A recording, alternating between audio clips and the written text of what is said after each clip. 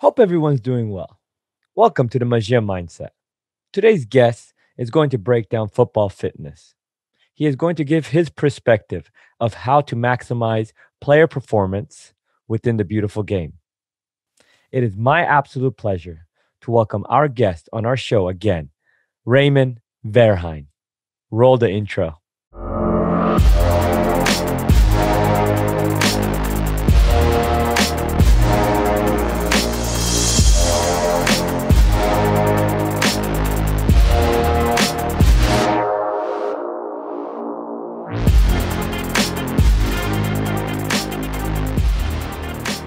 Raymond, thank you so much um, for putting in the time. Uh, I know your schedule is so busy, especially right now with all of the new projects you have going on. So, again, from our end, thank you again for coming back on the show and talking about the beautiful game.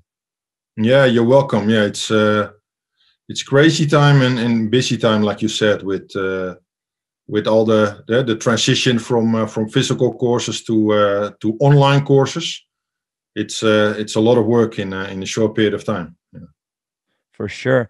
So I want to right away get into football and fitness within it, like the fitness within football. And I think some of the stuff, for example, I'm based in the United States, and a lot of us, football is not the primary sport.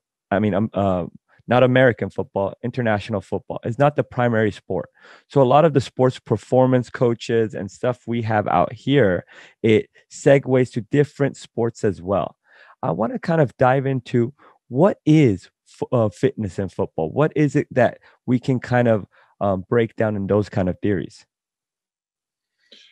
Yeah, I mean it's it's a very good question and and also uh, the most fundamental question: What is football fitness? And uh, and basically the the question that precedes that is uh, what is football? And and then football fitness is a specification of uh, of of of the answer to what is football. Um, but yeah, if we briefly zoom out, um, it's it's the biggest sport in the world. Maybe not in your country, like you just said, but uh, worldwide, it's the biggest sport.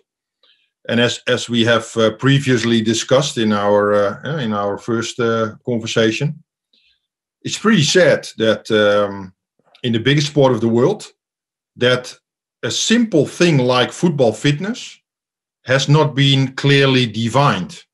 Uh, because if you have a clear definition of what football fitness is, then football fitness training is a logical consequence of that. It's just the application of uh, of the definition, and um, and as a result, uh, as a result, in uh, in the last uh, five, six, seven decades worldwide, you see a lot of coaches with good intentions doing all kind of things, um, thinking that they are developing the fitness of their players, but they end up doing all kind of uh, non-contextual stuff like uh, running around the pitch or uh, sprinting uphill or now and everybody who is watching can think of all the crazy non-contextual things that he or she has done in the past as a, as a player. And the thing is that traditionally people think that you need fitness for football. So uh, before you are able to play football you need to be fit first. And then when you are fit then you are ready to play. And in reality, you don't need fitness for football. Eh, because if you are developing fitness for football, it means that before you are playing football, you are doing something else than football. So, in other words, you are developing fitness outside the football context. And that is what you are doing if you are developing fitness before you're going to play football. Uh, so, you're not playing football yet, but you are developing fitness, so that cannot be fitness in a football context. Because, like I said, you are not playing football yet. So that means that you are developing uh, fitness outside the football context, assuming that you develop fitness outside the football context and that there is a transfer to the football context. Yeah, and that is, like I said, an assumption. In reality, what it means, uh, football fitness, is that you need fitness in the football context. So football fitness is fitness in the football context. So players do not need fitness for football. They need fitness in football, in the football context. And to go one step further, when you are playing football, you are interacting with the football environment, uh, with the ball, the opponent, your teammates, the pitch, the goal, etc. So you are interacting with the football environment. And like we have previously discussed, those football interactions basically have three phases. First, you are communicating with the surrounding to exchange information. Eh, you are sending information, you are receiving information. And based on that exchange of information, that communication, verbally and non verbally, eh, you are collecting information and then you make a decision. So, decision making is the second phase. And then you execute that decision. So, communication, decision, and execution, the CDE together is what you call a football interaction or a football action. And if you are Usain Bolt, or uh, when you, you, Usain Bolt used to be a sprinter, he was interacting with the surrounding once and then he was finished. Uh, it was one action of 100 meters and then he was finished. So Usain Bolt did not need fitness. He needed communication, decision, execution uh, as quickly as possible to win the 100 meter sprint. But in football, after you have performed the first football interaction, there's going to be a second one, and a third one, and a fourth one, and a fifth one. And ideally, you perform them as frequently as possible in a in a short period of time to uh, to be able to play with a higher tempo in the first half. So football actions, communication, decision, execution, as frequently as possible to play with a higher tempo. That is one part of football fitness. And then, of course, in the second half, you want to maintain that high tempo, both from a quality and a quantity point of view. Yeah, so you want to maintain the quality of your football interactions, and you also want to maintain the quantity, yeah, the frequency of your football interactions so that you can maintain this high tempo for 90 minutes if necessary in the game. So these football interactions as frequently as possible and for as long as possible because the game is 90 minutes. Yeah, that is football fitness. So you do not need fitness to be able to play football. But when you are playing football, so when you are in the football environment, you need fitness. And that means that you must be able to interact with your football environment as frequently as possible and for as long as possible. And that is the, the, the, the philosophical definition of football fitness. And as a result, if that objective and universal definition of football fitness is clear, then players will not end up running around the pitch or sprinting between cones or running in the mountains or on the beach or in the woods or whatever, because running on the beach does not fit in the football fitness definition of interacting with the football environment as frequently as possible and for as long as possible. So everything that does not fit in the football fitness definition is by definition not football fitness and not football fitness training. And if the, if football coaches all around the world would be educated like this, we could avoid so many unnecessary training sessions and unnecessary wasting of time of in particular youth players. So um, hopefully also this conversation is uh, is going to contribute to the evolution of uh, of football and in particular football fitness. No, I mean I totally agree in so many ways. Um, and Raymond, it's the difficult part is whenever you have the players that are up and coming or the parents that are just getting started in the game, there are set views set by the coaches and at the higher places that they observe. We don't challenge, we don't question, we observe. Oh, this team, they went and ran mountains. They took their team on a two week period in the mountains to do mountain training. So our college team needs to do that too to get fit, to get ready for the season, to have stamina. Our heart rate's got to, the altitude is high. You know, what the boxers do, we got to do. We got to go on the beach and play soccer barefoot because that's what's going to make the uh, environment more difficult and push us to get more fit. I want to kind of talk, go into that a little bit um, because still, and if we break it in our audience's views in the US within the college game, if we just touch about the college game, a lot of it when they get into the camp at the let's say the division one level you have a two week period. Not all programs there are some that are still try to get on the ball first but majority let's just say 80 85 to 90 percent still the first few days you don't probably see the ball. You're you're there doing a two mile test that you got to get under 12 minutes. You do a beep test and then after they pass it, now it's a reward to get on the ball, to start knocking the ball around. Um, and then by that time, as we were discussing, did you really get football fitness? Did you really get, did you really maximize your time? I want to talk about that when for coaches that are getting into preseason camp for the college program. What is the best way to get your players in and first introduce football fitness within their program to get the touches. And what are, should be their focus? Two what are the activities that develop football but also prevent their injuries? Yeah i, I recognize what you're saying that uh, a lot of people they are very um, sensitive or perceptual for um, for what the champion has done. Uh, let's put it that way.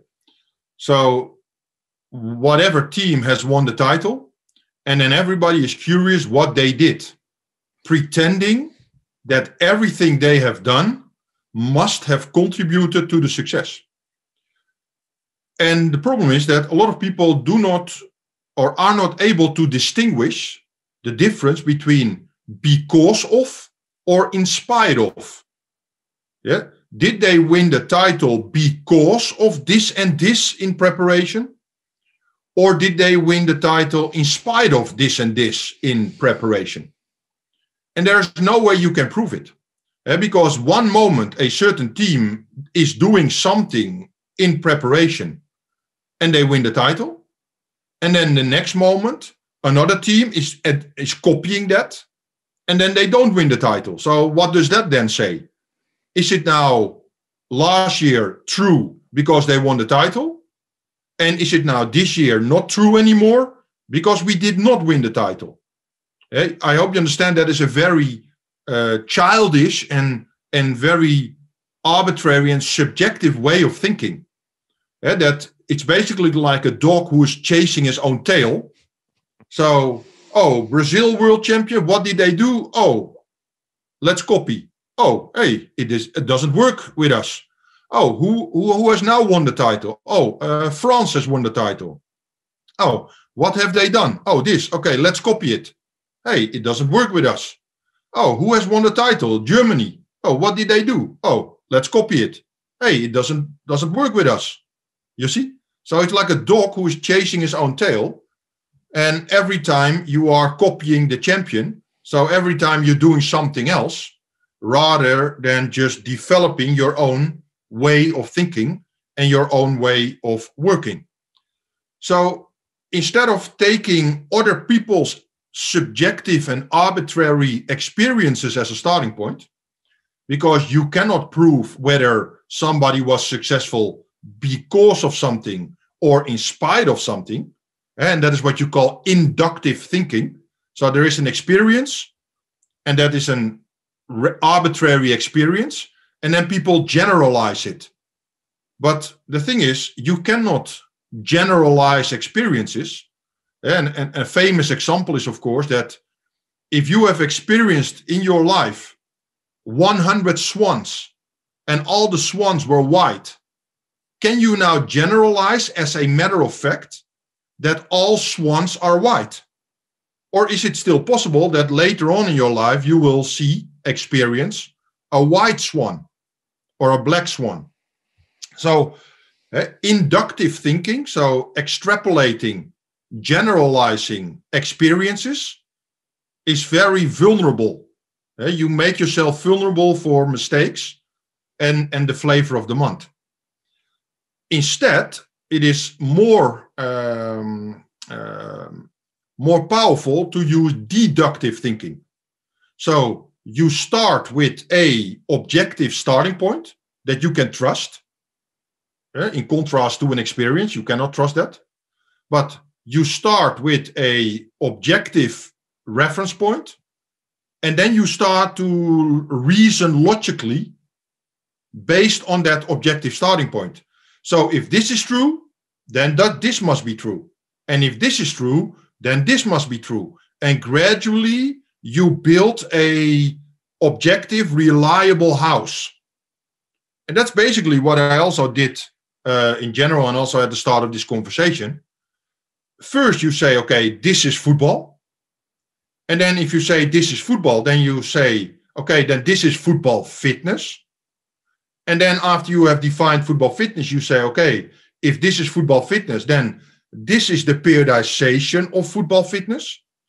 So rather than just copying the champion and chasing your own tail and just going from one flavor of the month to the other, you are just doing logical reasoning and you are layer after layer developing a philosophically sound and therefore reliable foundation. And that is basically also uh, how I started this conversation. Football, communication, decision, execution. So that is the first layer. And then I'm not Usain Bolt, but I'm Lionel Messi. If I'm Usain Bolt, then CDE once finished.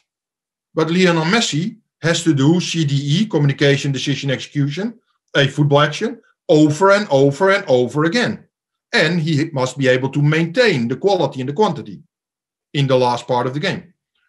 And that is football fitness. So then you go from football to football fitness and then to the periodization of football fitness based on objective and logical reasoning. And that is the problem in football. A lot of people they work and think based on inductive thinking. So they experience something and then they think it's true. But in reality, it is about the knowledge that is true. Uh, just imagine, just imagine that you have a time machine and you can go back in time to 1970. And you are standing at the sideline of a training session of the most successful coach at that moment in 1970 and you are looking at that training session, and in particular, you are listening to the things this coach says. What is now the a big chance if you analyze the training session that compared to the modern days, it's very superficial, it's very arbitrary. It was very good 50 years ago. So, in that time period, it was the best available information and the best available uh, knowledge. But compared to today, yeah, it, it looks superficial and arbitrary, of course.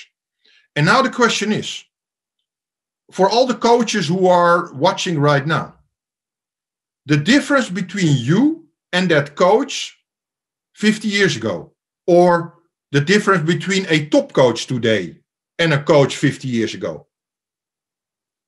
that difference is the difference in that 50 years is that a difference of knowledge or is it a difference of experience eh, and hopefully asking the question is answering the question because maybe that coach in 1970 had much more experience than a coach today but the coach in 1970 had a lot of experience with the knowledge level that was available at that moment.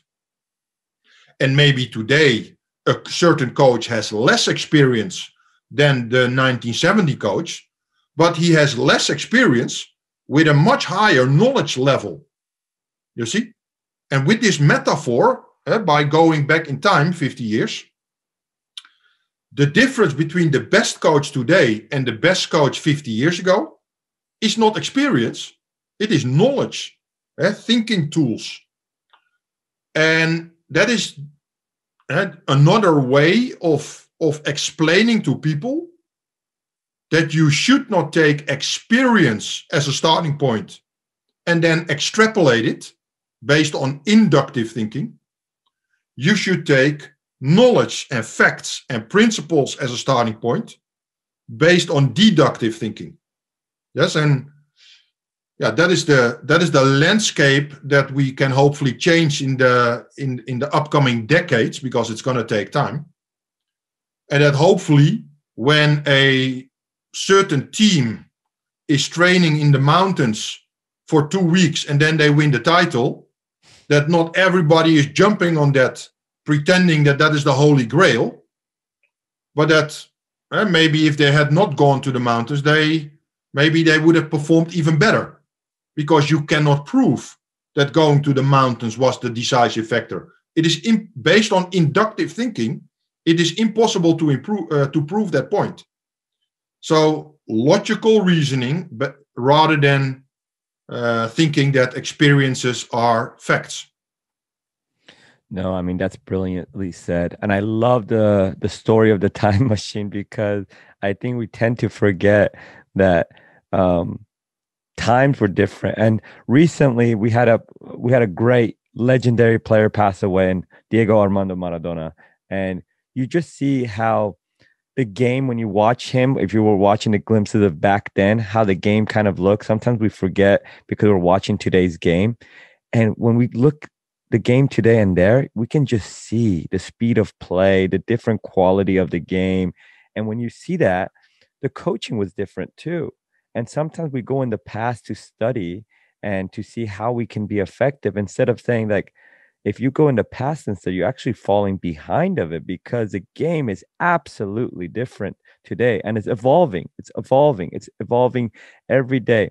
What I wanted to kind of get into as we were discussing about uh, preseason is what is a what does a sample session look like in fo- uh, football and fitness when you're having uh your group checking in you know i think some of us um, i want to first start off with what, what would a sample practice look like?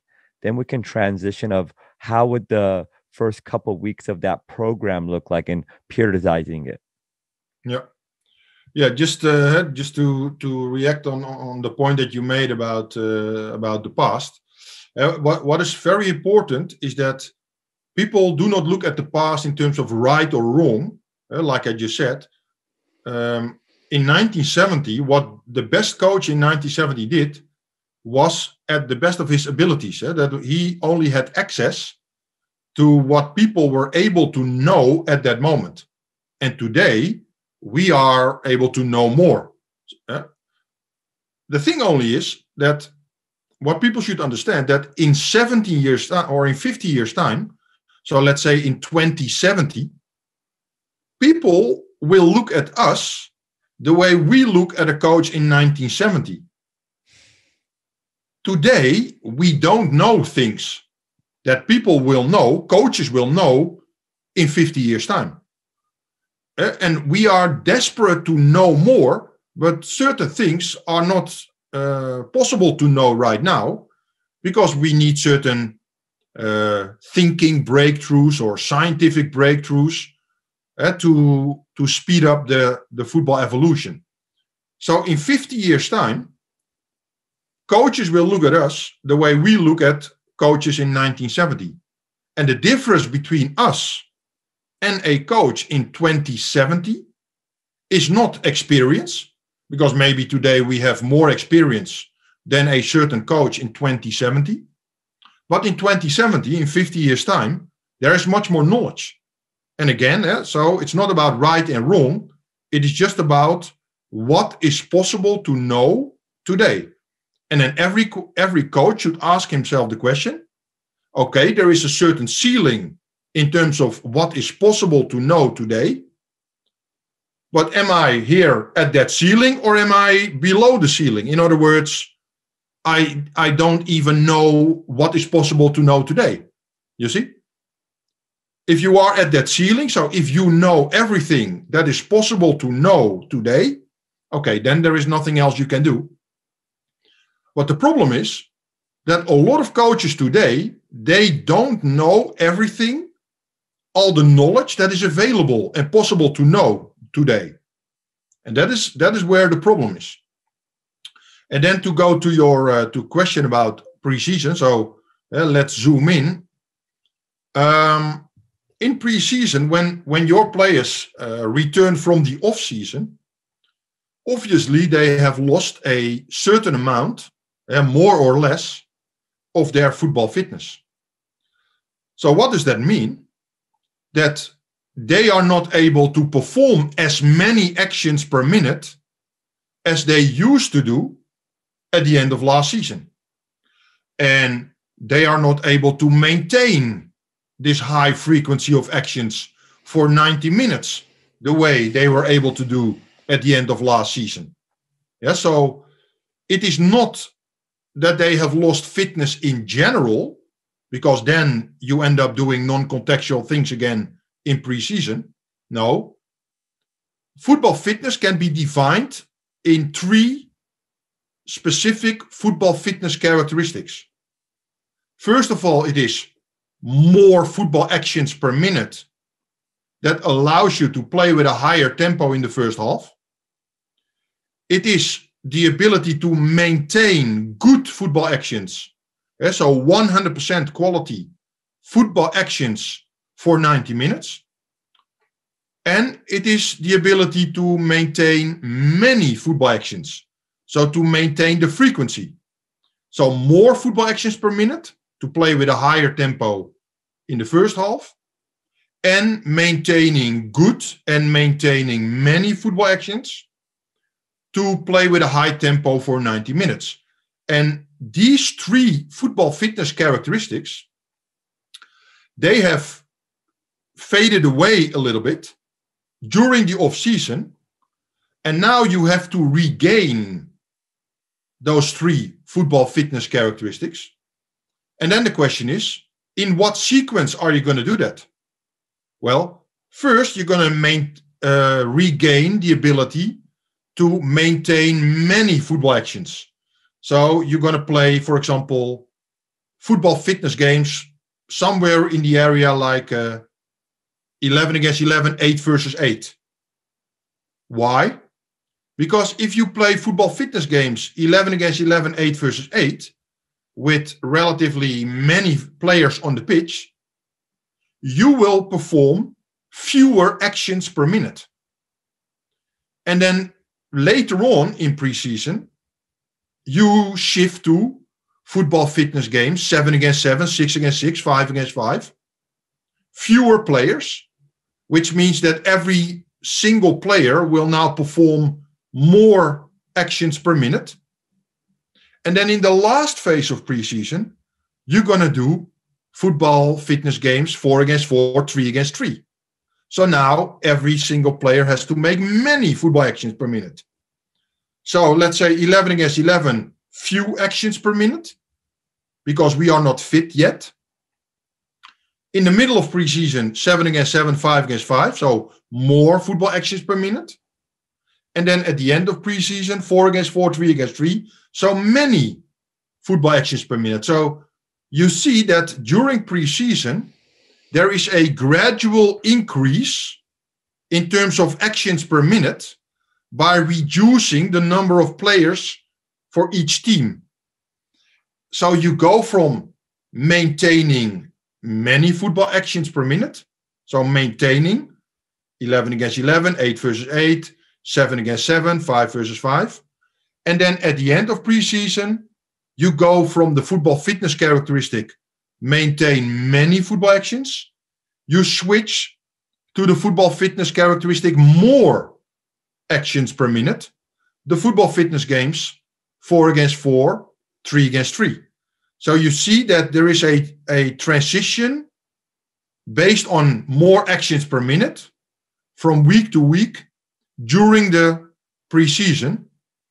And then we have not regained fitness in general, but we have regained football fitness in the football context.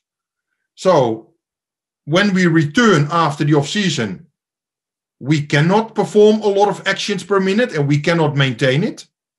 So we play big games.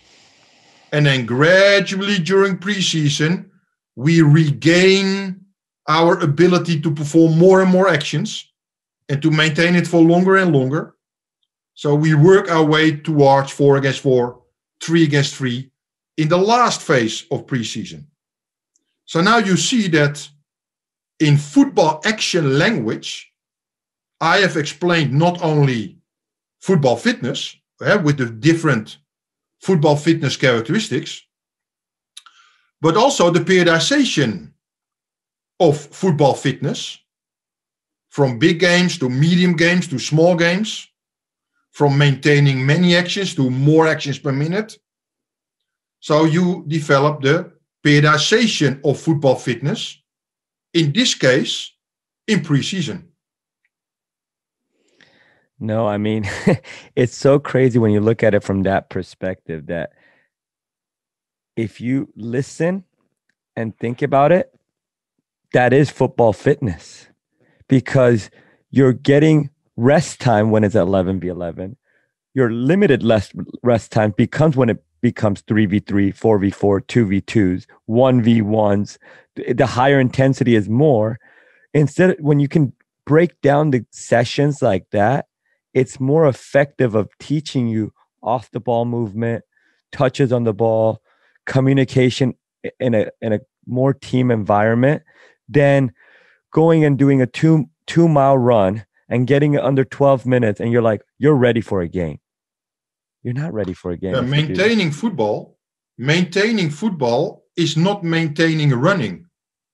So what people think is they are developing non-contextual fitness like running and they think that running is fitness. And then they say yeah but because in football you also have to run which in itself is true. But running in, foot, in football is not the full story. What you must be able to maintain in football is, first of all, communication. Because when you get tired, your peripheral vision decreases. So when somebody gets tired, he starts to communicate more in a tunnel. So you have tunnel vision. So maintaining football is first of all maintaining communication. So mm. also maintaining peripheral vision. And then after communication, it is decision making. So football players have to maintain decision making. So even when you are tired, you should maintain passing forward and not when you get tired, you start to pass more and more wide and back because you play safe because you are tired. No, even when you are tired, the fatigue should not influence the quality of your decision making. So you should also overload maintaining good decision making. And then you have to maintain the execution of decision. And when you are executing decisions, yes, you are running sometimes uh, when you are pressing or transitioning or creating space or you are running. So maintaining running is an integral part of football fitness, of maintaining football.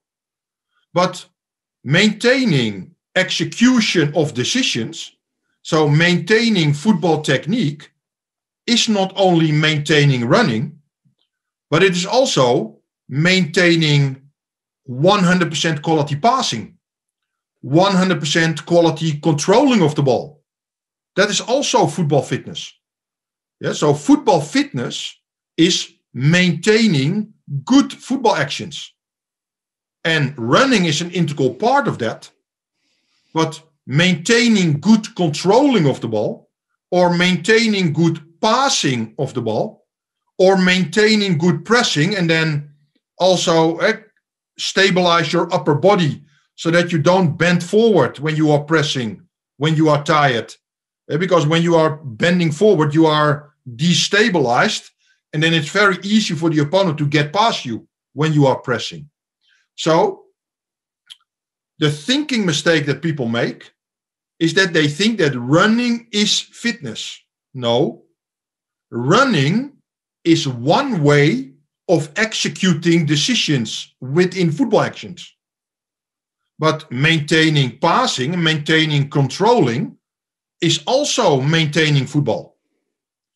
So when you are playing football fitness games 11 against 11 or 7 against 7, you are maintaining football. And as an integral part, you are also maintaining running. Because if you make the pitch a little bit bigger, eh, you have to run more distance when you are performing football actions. So running is not the same as fitness, because then you talk about running fitness. No, in football, running is one of the many things you do within football fitness. So it is an integral part of football fitness. And the only way that you can uh, that you can solve that is that you have this philosophical definition of uh, football fitness that I introduced in the beginning of our conversation and that I'm now using to explain what I'm saying. No, that's that's huge. Having your foundation and philosophy set from the from the beginning as we transition to the next ones. Let's say right now we did our job preseason. They came in, you exactly meticulated what you wanted. You broken down, they got fit. Now we're in in season. We're in season. What does a periodization look like? What is it you have? Let's just say the setup is one game maximum, two games a week here and there. What is it that you do to properly in season in football fitness kind of set up to allow them to be fit, but obviously in the specific of uh, the concept of in season, what is it that you're looking at to kind of set up the program of the week per week throughout the season? Well, in in preseason, what you have done is you have developed football fitness, um, but as an integral part of your playing style development. So you have a certain playing style Mm-hmm. And based on the football fitness characteristic, more actions per minute, your players will be able to perform this playing style with a higher tempo. And based on the football fitness characteristics, maintaining good actions and maintaining many actions, they are able to perform your playing style for 90 minutes. So, football fitness is an integral part of playing style development. And then when the season starts, traditionally what people think is okay, now we are fit. So now let's focus on the games. But when the season starts, there is absolutely no reason why you cannot develop your playing style further and why, as an integral part, you cannot develop your football fitness further. Uh, if you play two games in one week, it's not possible because then between those three games, Sunday, Wednesday, Sunday, for example, then all the training sessions are either focusing on recovering from the last game or preparing for the next game. So when you play Sunday, Wednesday, Sunday, for example, then football fitness training is not possible. But if you play Sunday, Sunday, or Saturday, Saturday, for example, then in, in the middle, you can do football fitness training and then you can develop the ability to maintain the playing style even for longer. So, and maintaining this high tempo for longer by continuously increasing the number of minutes that you play football fitness games 11 against 11 or football fitness games 7 against 7. So maybe at the end of uh, preseason, your team is playing three times 12 minutes, 11 against 11. But then in the season, you can go to three times 13, three times 14, three times 15. So you can keep increasing the number of minutes. And you have to imagine it. Eh, so in training, the net playing time is almost 100%. In the game, it's often 55%, 60%. Eh, so you play 90 minutes and the net playing time is 55 minutes, for example. And then halfway those 55 minutes, you also have a, a half time. In in training, you don't have half time and you don't have uh, yellow cards, red cards, ball out, substitutions. So the net playing time is not 100% in training, but close to 100%. So if you play three times 15 minutes, is 45 minutes. That's a lot.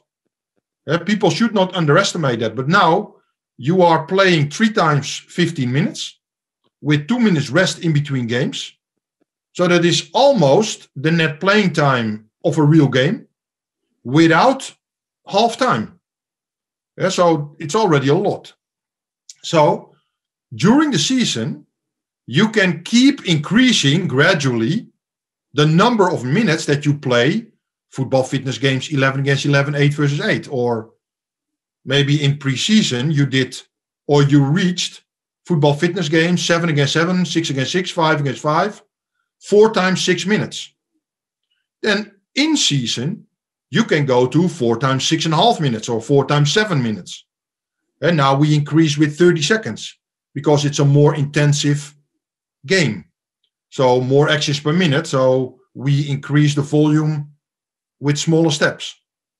Or, for example, with the football fitness games, four against four, three against three, you keep reducing the rest. Because, like I said, with the football fitness games 11 against 11 and 7 against 7, you are overloading the football fitness characteristic, maintain many football actions. So you want to overload maintaining. So you play more and more and more minutes. With the football fitness games, four against four, three against three, you are overloading the football fitness characteristic more actions per minute.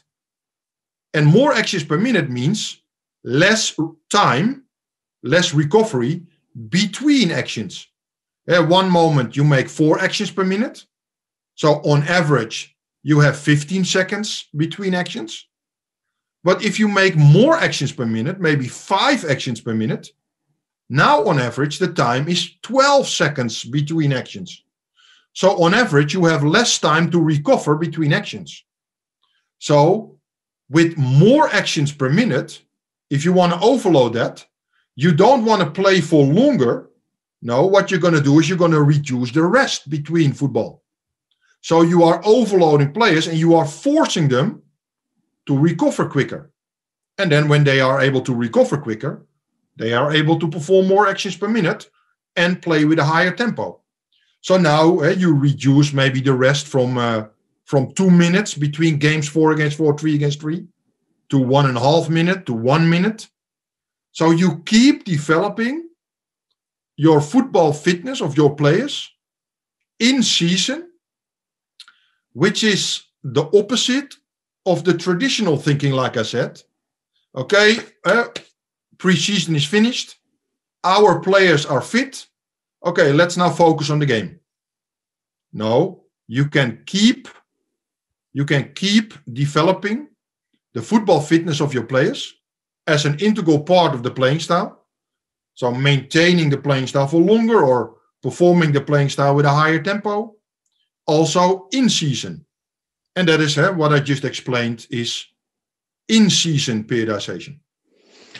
No, that's that's great to understand and break down. And it's you know, it's funny because you go back to it to all of our great football philosophers, they always say the game is simple in its simplicity of what it is to gain out of it. And but it's hard to make something simple. It's hard to play simple because the knowledge you got to have to understand how you want to set it up based on the players you have, based on the environment you have, based, like you said, the style of play you have, all of those wrapped into one and properly setting up something to prevent injuries, and having the team become successful. What I wanted to quickly touch on as our last kind of question and then let you close us out after that is you know, in season is one thing, but a lot of the players or that try to get their coaches and coaches that try to set up their players during the off season where they're away from their team, what is it that's beneficial to come back in camp? Obviously, you're never going to be in the shape that you are in preseason because you need the games to get you there, but at least to be fit enough to prevent injuries from happening or you don't do anything too much off season that you come into camp you're hurt. What is it that you advise or recommend in your kind of philosophy of properly uh, setting up an off season program? Yeah. Yeah good points eh? first of all um, what you often see is that um, people who need a lot of words or people who need a lot of difficult words, that is often a sign that they don't understand themselves totally. Yeah. So if somebody can explain something in a very simple way and also in a very football specific way, that is often a sign that somebody knows what he's talking about. And the more words somebody needs, and the more uh, non contextual catch all words that somebody's using, the bigger the chance that somebody's talking about something that he has not fully mastered himself yet. Yeah, so uh, the first point you made, I think that's spot on. There are too many people in the football world who do not only make things subjective, so arbitrary, so they do not only share arbitrary, random, yes, subjective information, but they also make things unnecessarily complicated. Yeah. You should play football in a simple way and you should explain football in a simple way because then it's already difficult enough. Yeah, so I think that's a very good point that, that you made uh, at the beginning. And then secondly, about the off season. And um, and that's of course uh, one of the one of the things that that I pay special attention to in uh, in the online football fitness course that we have launched and and I will share more about it in a, in a few minutes. But the reason why I have decided to make that a, a specific topic and to discuss it extensively is that when coaches, again with good intentions, develop training programs for their players, individual training programs for the off season, there are a lot of potential pitfalls. And the mistakes that were traditionally made in preseason are definitely made in off-season. And, and let me give you an example.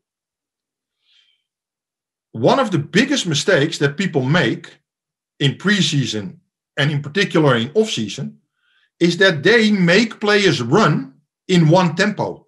Mm. So players run for 400 meters, or they have to run for one kilometer, or one mile, or 10 minutes, or 20 minutes. And the problem with you when you are running in one tempo is that you are using oxygen, and I'm not going to make it too technical. Eh, in the course, I will explain it in more detail, but now I, I I'm going to explain it in a nutshell. When you are running in one tempo, you are inhaling the amount of oxygen that you need to develop the energy that you need at that moment, given the tempo that you run. Yes? So, in simple words, when you are running in one tempo, 400 meters, one mile, 10 minutes, 20 minutes, you are using oxygen to work, to run. In football, you are not running in one tempo. In football, it is short explosions. Mm. And sometimes you have to run for 30, 40 meters in a transition. But that is, a, that is about it. So yeah, that is just a longer explosion, basically. And when a football player has to perform instantly in a split second an explosive football action, you don't have the time to increase your amount of oxygen that you inhale. And you don't have the time to increase your blood circulation so that you can transport more oxygen to the muscle and yet then you develop more uh, energy and then you can perform a more explosive football action. The process that I just described takes too long. Mm.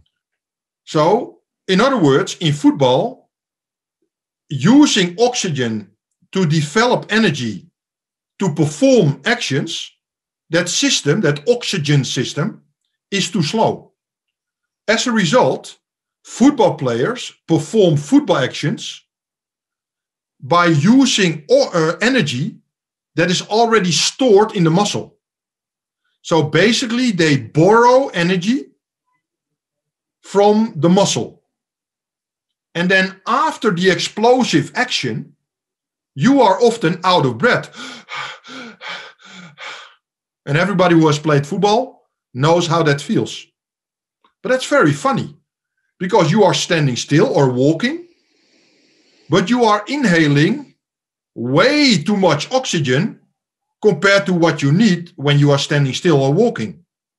So you are inhaling extra oxygen to develop extra energy. And why are you, after the football action, developing extra energy? To pay back the muscle, to pay back the energy that you borrowed when you performed the football action. So that means that in football, you are predominantly, not only, but you are predominantly using oxygen to recover. So when you are running in one tempo, you are using oxygen to work.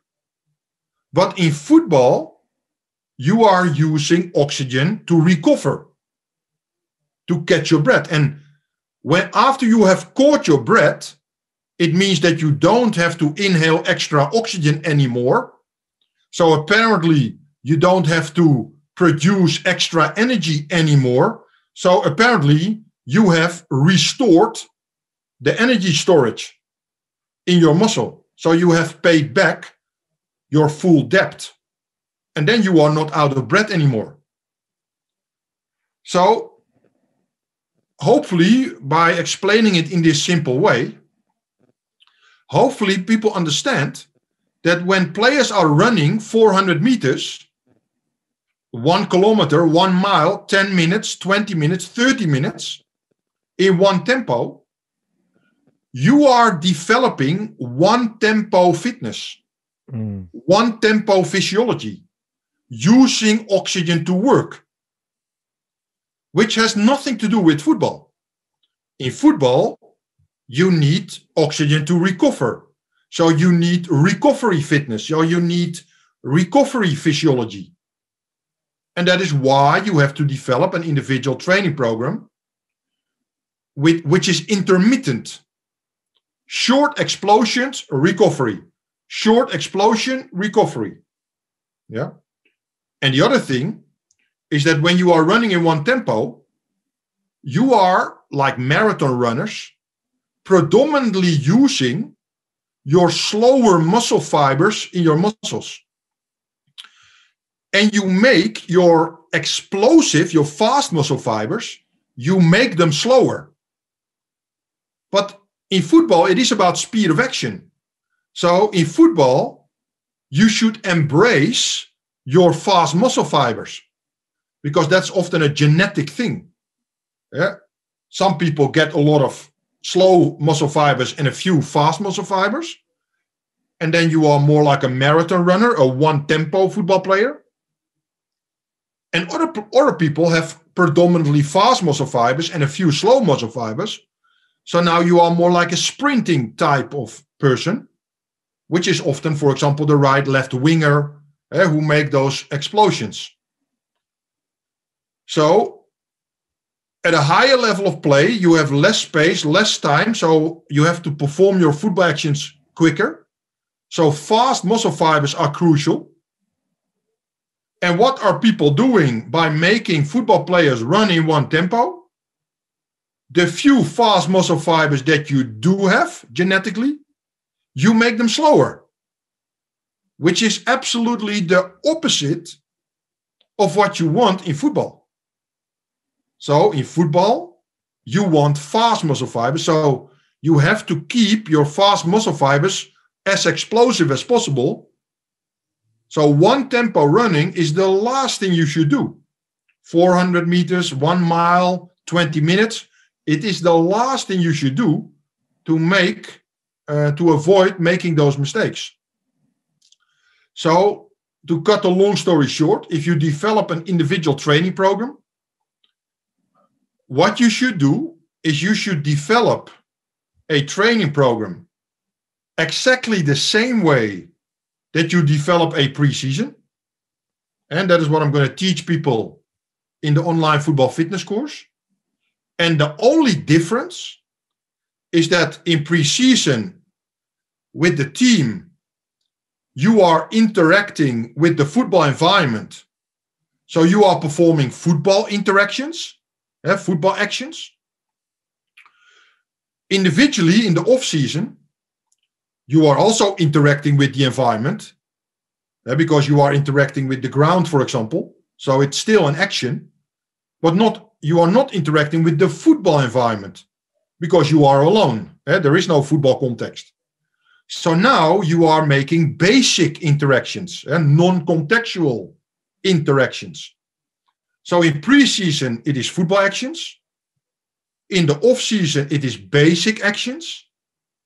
But that should be the only difference between a off-season periodization and a pre-season periodization. Everything else should be exactly the same. Because if you develop a off-season periodization that is literally the same as the pre-season periodization, except for the football action or basic action, then that is the only transition players have to make when they switch from the off season to the preseason. They have to change from basic actions to football actions. But everything else they are prepared for. And this reference that I introduced, this basic action reference, I can also use to explain everything else that we discussed previously. When a coach is training his players, whether it's off season or pre season or in season, when you are doing fitness training, but not in a football context, so players are doing exercises, but in those exercises, they are not interacting with the football environment. They are, by definition, not performing football interactions because they are not interacting with the football environment. So there are no football interactions. So you are now, by definition, not developing football action fitness. You are, by definition, interacting with a non football environment. So you are performing basic actions and you are developing basic action fitness. Running around the pitch is basic action fitness. Sprinting between cones is basic action fitness. Running on the beach, running in the mountains, basic action fitness. And when you are doing basic action training, of course you will see progress. Of course you will see that your players get fitter. But the thinking mistake that people make is that they assume that players become football fitter, football action fitter. But in reality, they are becoming basic action fitter. So, yes, you see progress, but it is basic action fitness progress. Second thing, yes, there will be some sort of transfer from basic action fitness to football action fitness. Because when you are doing basic action running, running is an integral part of a football action, as we discussed. So when you are doing basic action fitness training, there will be some transfer to football action fitness because there is some overlap. So it's not about right or wrong. It is about the question. When I do basic action fitness training, there is some overlap and transfer to football action fitness. But how do I get more progress of football action fitness?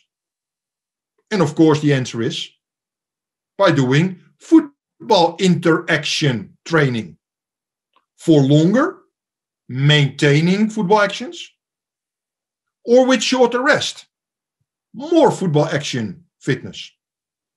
So, hopefully, with this last point, and again, I have tried to explain it as simple as possible and also as philosophically as possible rather than based on opinions or past experiences. No i i try to keep it simple and i try to keep it outside myself. So i try to explain it in a philosophical and objective way. And hopefully that helps people hopefully i have given the people that are watching thinking tools so that they can now coach themselves more objectively back home with their players. Yes. No, that's brilliant. that's brilliant. I mean, the the amount of substance we we we elaborate on this conversation. I mean, we can sit back and um, talk for days about what, how we can develop the proper fitnesses in in a specific football training um, it gets you excited with the the course you have set up as well. And I want to kind of give the floor to you, Raymond, to kind of close us out because I think uh, as you were discussing with your online program that you're introducing as well going forward, um, the projects you have going. I mean, it's it's beautiful to kind of get into and challenge ourselves with, like you said, not the opinions but pure knowledge of ourselves and understanding different philosophies, perspectives, and what to get. So I want to give the floor to you to introduce the program and how people can come about it and where they can kind of register for it and go from there. And any addition to the online programs you have out there you want to introduce,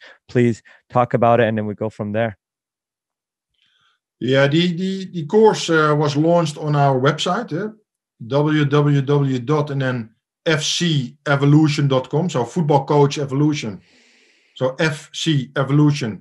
Uh, and what we have done is we have uh, developed a online football fitness course. And the course has 10 steps.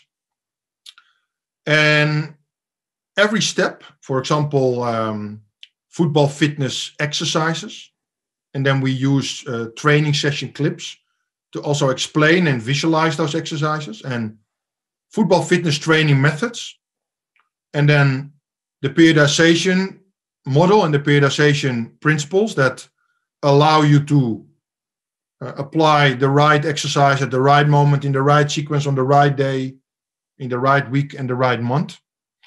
And then based on all those tools we're going to talk about like i said eh, off-season periodization in-season periodization pre-season periodization in detail and what I will do is uh, I will apply all those principles and all those exercises in three different areas for professional coaches. So I will develop a team periodization for a team that is training almost every day for 48 weeks. And then we plan every single day, all the way from the warm up to the cooling down and everything in between. But I will also do the same for youth coaches who are maybe training uh, two or three times a week or four times a week, as well as amateur coaches working with adults, for example, or, or youth players, and also training two or three times a week. So, for those three um, professions or three areas, professional football, youth football, and amateur football. I will apply the off-season periodization, pre-season periodization, in-season periodization, just to show all these coaches how uh, how you can develop those uh, phases. And then at the end, I'm going to create chaos. Mm. And what do I mean with that? Developing a periodization is only a plan in advance. Uh, that you try to develop in advance the best possible and most balanced training program. But the moment you start to apply that plan, you, it, it is interacting with reality. And reality is often complex and unpredictable. So, as a coach, every day you have to anticipate new and different external factors. Sometimes you don't have enough players. Sometimes you cannot train on the pitch, you have to train somewhere else. Or sometimes players have school exams, or sometimes players are still tired from the last game. So, all these external factors we're going to discuss, and I'm going to show how you can tailor the planned periodization and make it more realistic at team level, but also on individual level. So, the team is doing this, but maybe two, three, four players are doing something else, or doing less, or doing more. So, I'm also going to teach coaches that once you have planned your periodization, how you can manage chaos. And the interesting thing is that what you sometimes hear, especially from coaches at the highest level, they say, yeah, we play so many games, periodization is not possible. And that's very funny because apparently they think that periodization is a task or periodization is an objective in itself. As if periodization is something that you have to do on top of other things. And then when you play a lot of games, it's too much, so it's not possible. In reality, when you play a lot of games or when you have a lot of other external factors, chaos will be chaos, independent of whether you're going to periodize or not. Eh, if you don't periodize, the chaos is not going to disappear. In reality, periodization is not an objective in itself, a task. No, periodization, and that's what I'm going to teach, periodization is a tool to try to reduce the chaos and try to reduce all the external factors. Because if you play a lot of games, then players uh, the risk is that players start to accumulate fatigue and start to pick up injuries. So it is even more important that you periodize whatever you do in between those games. Yes? The more games you play, the more risky it will be to train based on your intuition or based on your opinion. So the more complex your situation and the more chaos you're dealing with, the bigger the risk that something will go wrong. And then what I will show is that periodization principles are tools to reduce that risk that something goes wrong given the complex environment that you're working in. So that is the thing that uh, that we uh, that we discuss as well, how to manage chaos. And like I said, uh, we we use a lot of uh, training clips, and um, but we also use uh, case studies. So um, mm. what I'm, for example, going to share, and that is one of the ten steps. So for and that's going to be a, a two-hour presentation. What I'm going to share is a real case study about uh, the Ajax team that reached the Europa League final in uh, 2017 so they played a lot of midweek games and it was total chaos with the travel, etc. So what I'm going to show is um, how the periodization took place mm. and also how you can manage the training of your substitute players. Because substitutes have to do something extra because they don't play. But if you play a lot of midweek games, training your subs is even more difficult because you can't train them in overload sometimes because the next game is already in 48 hours. And then the last thing I'm going to discuss in that case study is if you are training defending, that is more demanding than training attacking. Uh, when you are pressing, you on in general make more actions per minute than when you are building up, for example. So how can you periodize attacking and defending on the different days, also in relation to the games? So match day minus one, match day minus two, or match day plus three. Mm. How can you periodize the development of your playing style in general and overloading attacking and defending in particular in on the different days given all kind of external factors.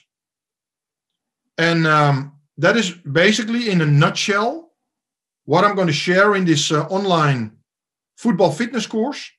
And um, the nice thing is that we have decided to make this course available permanently which means that coaches can register at a moment that works for them. And then they will have access to this course for two months from the day of their registration. And then for two months, they um, they have access to this course and they can they can study football, football fitness, and the periodization of football fitness in uh, in more detail. So hopefully for uh, for everybody who's watching, this is uh, going to be helpful. Uh, whether you are a professional coach or a youth coach or working in amateur football, all these areas will be covered uh, in detail, and then hopefully, uh, together we can uh, we can uh, develop better and better and better training sessions for our players. Because ultimately, like we discussed before, ultimately that is our role uh, because sometimes coaches think that it's about them. Uh, that's how they sometimes act and behave. But in reality, we are only a tool as a coach. Uh, we are only a tool, and we have to serve our players so that they can become the best possible player. And um, and hopefully with this course we can uh, we can help coaches all around the world a little bit uh, to uh, to get better in that area. I totally agree. And I truly appreciate you putting in the time to come on this show to talk about the beautiful game, one, but also showcase that there is uh, resources out there. And sometimes, you know, that's the confusion we get uh, because it's labeled this course, that course, this course, especially in a time that we're indoors at times. Um, we're getting on a lot of webinars. My thing is for the audience to remember that this should be a priority. This is a quality content out there. As you heard our discussion today, that there's so much substance in it that if you implement some some of this knowledge that you gain from this course into your own environment, you're only going to become that tool that enhances your players around to see that. And you don't know until you implement it, until you go in that course, until you study that course. What I'm saying is this is something that people should put on their checklists that they got to go and take in addition to any of their license courses they want. I know some jobs, uh, positions and coaching require a certain license this should be one of those things that I think better enhances them to create a top notch environment for them to be more successful and to put their players in a better area to be successful. So, again, Raymond, I truly appreciate you putting in the time, and it's an absolute pleasure again having you on the show. Yeah, you're welcome. And I think uh, your conclusion is, uh, is spot on. That hopefully, besides uh, we zoomed into football fitness, that uh, the other thing that people will take out of this this conversation is um, is that ultimately it is about how you apply things, and that's what we call the art of coaching. And uh, so, how you apply things, only you as a coach can decide, because you are the only one who knows your external factors and who knows your players. But there is a difference, of course, between applying subjective opinions or applying objective knowledge. In both situations, you don't have a guarantee because ultimately it depends on how you apply it. And one coach is better at applying something than another coach. Uh, one coach is better at anticipating external factors than another coach. But if you have more knowledge in your brain, then at least you have a better precondition to be very good at applying things.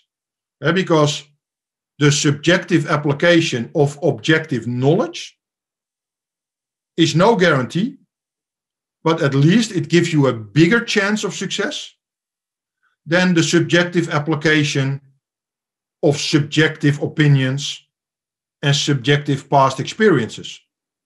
So um, yeah, I cannot agree more with you at, uh, with your conclusion. So uh, hopefully the uh, the importance of an objective starting point is um, is also something that that hopefully people will take out of uh, of our conversation. I agree, and thank you again. You're welcome.